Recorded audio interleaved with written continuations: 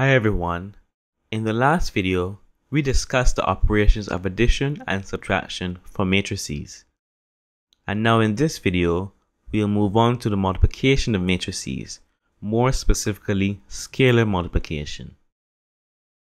A matrix may be multiplied by any real number, which we also call a scalar in this context.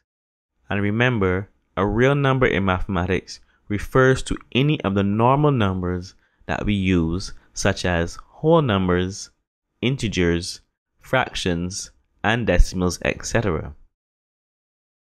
When a matrix is multiplied by a scalar, this multiplication is distributed to every element within the matrix. You'll see what I mean in the example below. Here we have a 2 by 2 matrix which contains the elements negative 4, 1, 5, and negative 3.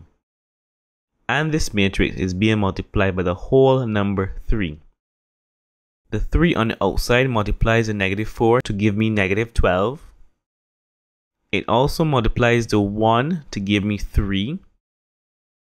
It multiplies the 5 to give me 15. And finally, it multiplies the negative 3 to give me negative 9.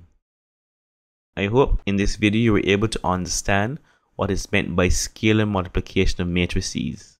Thank you for watching.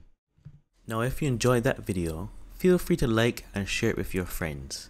You can always visit us at knowledgescroll.com where you can look at our full list of services that we offer to secondary and high school students. Here's also where you would come to browse our full catalog of featured videos as well as sign up for any of our reasonably priced online courses.